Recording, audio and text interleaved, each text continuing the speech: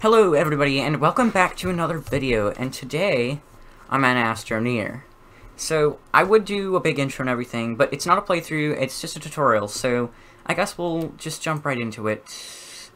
Okay, so this video is going to be 10 tips and tricks for Astroneer on uh, just random stuff, just tips and tricks for Astroneer, okay? So I hope you guys enjoyed this video, um, let's get it started. I don't even have to do a jump cut or anything. I just have to um, walk over here. So, tip number one is going to be sol getting solar arrays. So, and and also just a strategy with these things. Um, get these solar arrays. They're very, very good. They provide tons of power, a ridiculous amount of power. Um, they help a ton with gateway shrines if you're trying to activate gateway shrines. Um, oh, by the way, um, spoilers, spoilers. This will uh, spoil the all the game. This is like um gonna spoil a lot of stuff in the game. Just want to put that out there. Uh, if you don't want to have a bunch of the stuff spoiled, you might not want to watch. But yes, let's continue. Um, these solar arrays are amazing, and um, you will need a large printer, which isn't too hard to make. All you need is let me go to the bottom here. Is this three compound and a medium printer. So, how do you make these? You're asking. All you need is one copper, so that's malachite.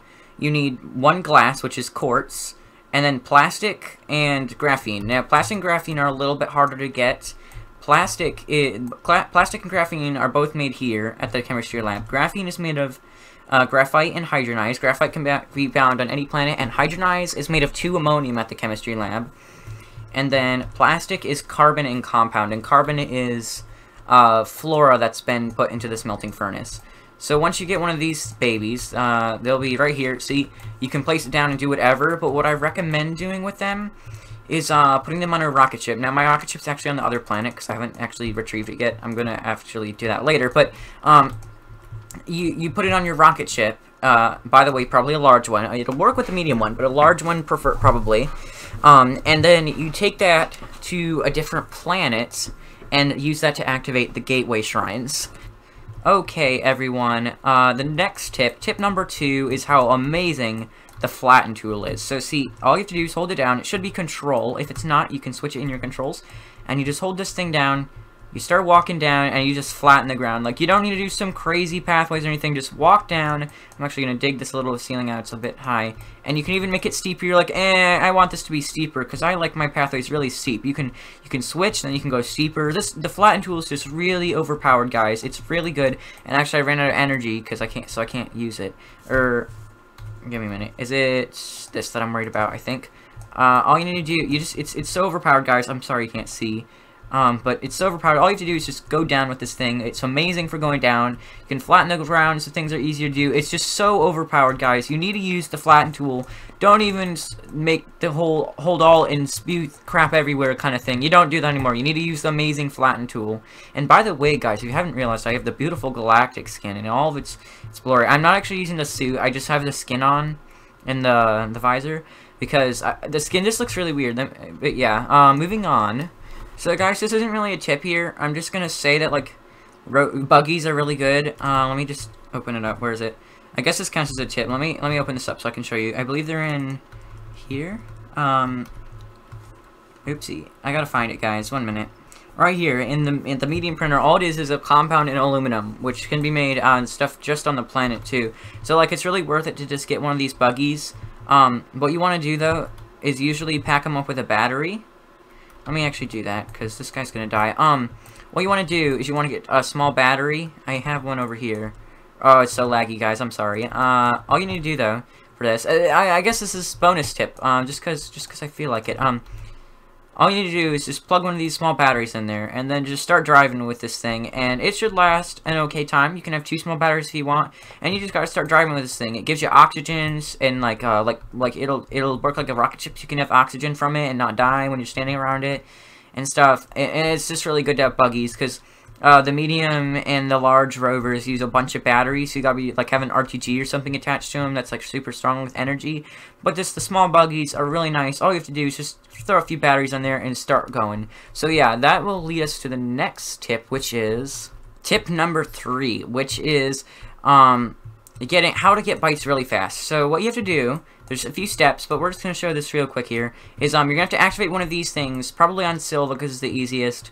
But um, go on Sylva, get six medium generators or enough uh, amps to go with that, and you gotta oh activate this. And you also have to go down, dig to the center of the planet. Just keep digging down. Use that uh, that flatten tool until you get all the way to the center of the planet, and you put quartz in uh, at the center of the planet. Quartz in the little thing. You only need one. Uh, but you put quartz in, and you activate the center of the planet, and now you have an above-ground gateway shrine and the core activated, which is exactly what you want to do for this tip here. So all we have to do is we're going to have to go follow these tethers to the other side, because I flipped on the wrong side, but that's okay. We are going to need to come to the core of the planet, and we're going to jump on this thing. Oh, can I make it? There we go. Uh, we're going to go on one of these little purple things. Make sure you have lots of tethers. You should since you got down here. But, but um, go on one of these, and you just need to get some astronium, which is right over there. This is the quickest way I've found to get bytes, um, unless you're doing, uh, like with a large rover, of course, or something. But I don't have a large rover to just carry around with me, obviously. So you're going to just come down here. It's a little bit dangerous. You got to be careful. Come over around, though. Make your way. Find some astronium, and I don't know how much there is right here. There, I don't know, I don't think there's very much left here. Oh, did I, okay, I think I have it still.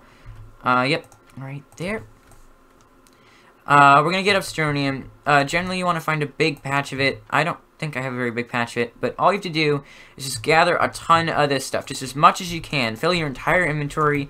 I won't be able to actually fill my inventory, though, I don't think, because there's not enough here. If there was more, I would fill my inventory, though. You'll just go keep looking for it. I'm not going to spend the time doing it, but you're going to fill your inventory with Astronium. Uh, and I, why is there, like, none here? Dude, um, yeah, you're going to fill your, uh, inventory or just get tons of Astronium, and I will show you the next step right here. Take this, all this Astronium, and dump it right on the research station. You're just going to research all this, because look at that. Uh, it's worth a thousand bytes, which is a lot of bytes. Like, for, for just a piece of ore that you can fill your inventory with, a thousand, and at 400 per minute, and I'm going to show you something pretty crazy here in a second. Um, once we get all three of these researching, just with all these three, just that researching, watch how fast my bytes go. it's really fast. So that's the fastest way I know to get bytes, and it's super worth it. Works amazing. Man, these buttons look sick. Um, but um, yeah, that that's bytes really fast. Uh, which then will lead us to the next tip, which is to get one of these hydrogenized rocket thrusters. These are amazing. As soon as you can make one, you should make one right away because it's so worth it.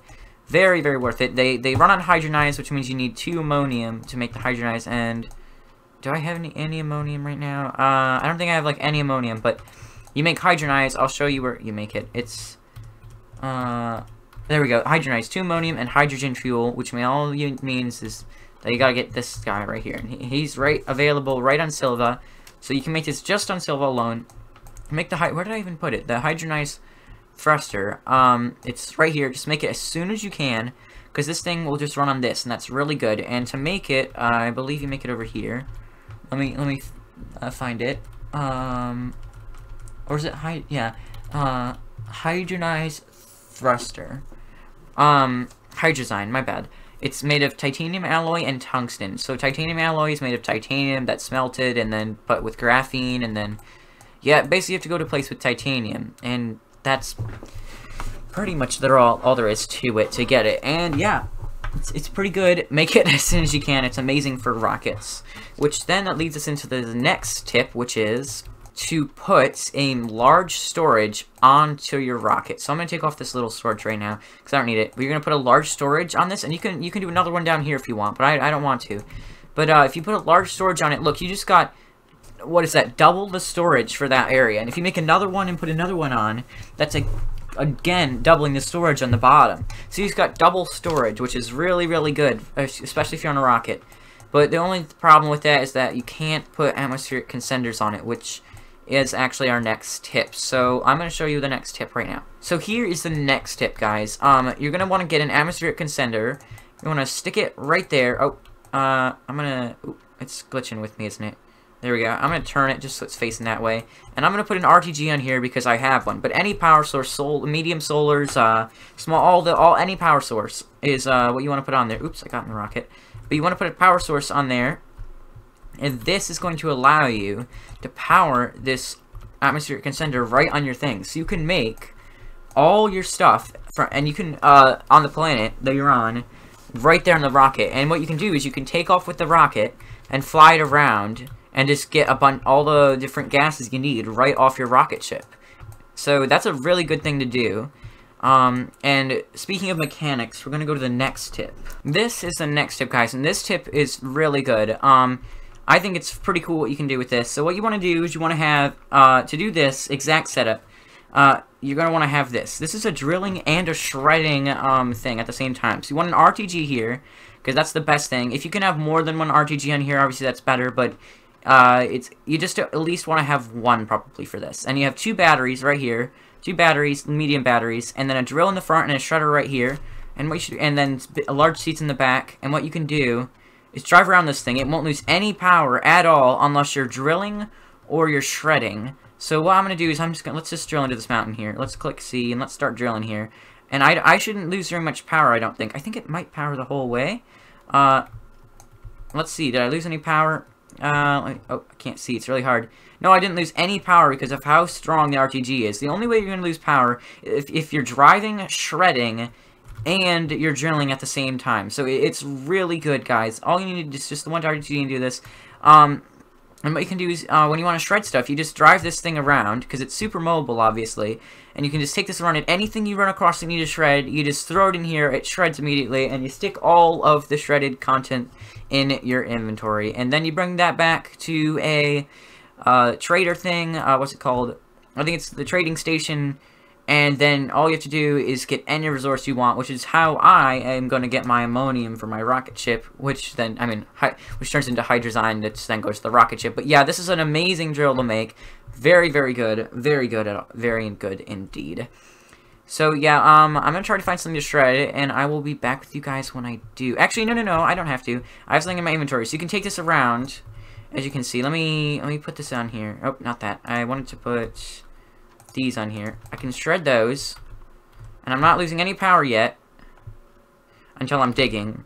The only way I'm losing power, uh, or wait, I'm still not losing power. Am I driving and digging that way? No, guys, the RTG is just that good, apparently. Nope, now I'm losing power. If you dig and drive, you'll start losing power, but it'll instantly, as soon as you stop digging, your power's going to regenerate again, so you don't even have to worry about it at all. You just have to drive, okay, I mean, you have to get worry about getting stuck in a hole, but you don't have to worry about anything else, really. I think there's something that dropped over there, but yeah, it's amazing drill to have, uh, just, yeah, don't get stuck in a cave. oh no, I'm gonna get really stuck. Oh no, guys, uh, this is bad. Let me, I'll, I'll, yeah, let's just cut it right here, cut it right here. Yeah. Oh, no. Oh, no. Oh, no. Yes, cut the video. Cut. Cut.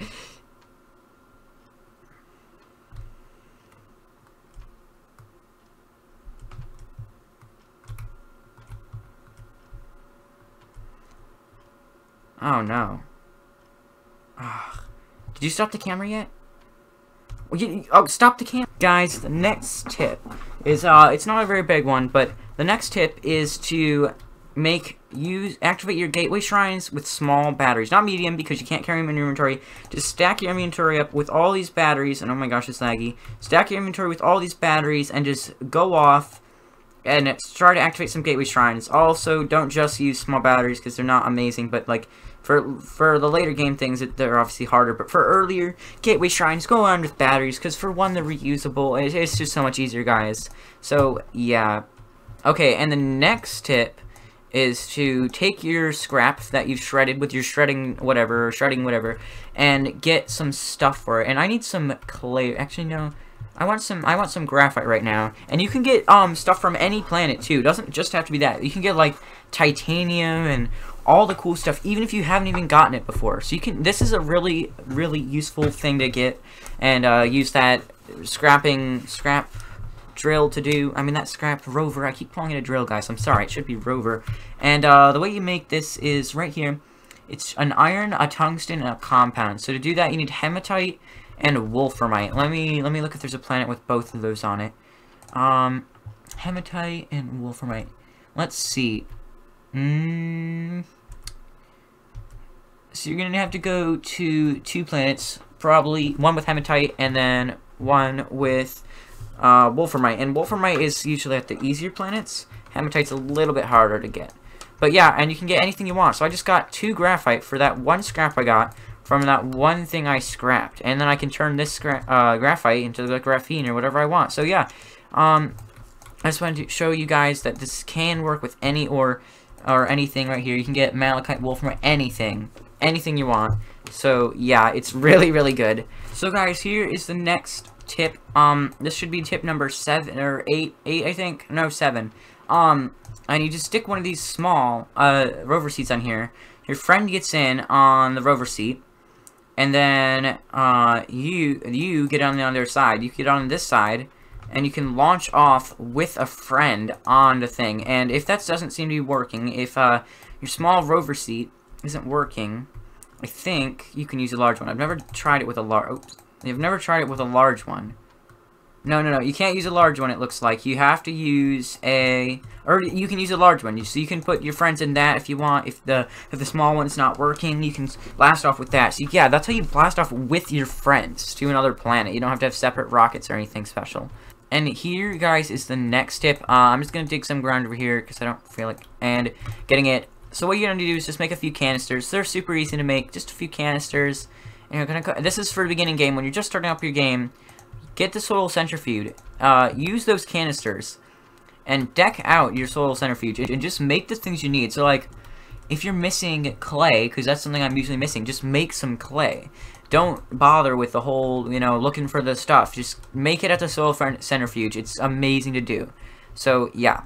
And guys, this is going to be the last tip right here of the video, tip number 10. Uh, I'm going to do it right here, and it's to always put beacons wherever your landing spots are or nice places on the world are because trust me it pays off you want to have those beacons around it's really going to help you so let Say, um, we're on, I don't really want to waste my Hydronize, but we're going to do it anyway. Say you're going to, uh, Calidor, and also, along with this, whenever you're landing your rocket, bring a landing pad, because, oh, I just threw the, uh, bring a landing pad, because you want to put a landing pad down where you can land, so you know exactly where you need to be landing. It's up there. Uh, it'll give you a nice place to land, and you want to have a beacon there, so you know, see how I didn't have to look for exactly where I was, I just knew because the beacon was there? Yes, make sure you place the beacons, and make sure you use the landing pad so you land exactly where you want to be landing.